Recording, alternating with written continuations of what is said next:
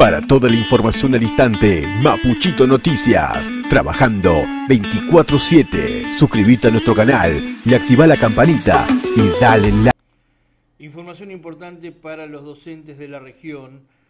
En virtud del informe de alerta meteorológico emitido por Defensa Civil para el día martes 16, es decir, mañana, y atentos al cuidado de alumnas, docentes, auxiliares y familias, las jefaturas regionales de educación, de gestión estatal y privada, suspenden las clases para el día de mañana, repito, mañana martes, en todas las localidades de los distritos de Bahía Blanca, Coronel Rosales, Monte Hermoso, Patagones y Villarino.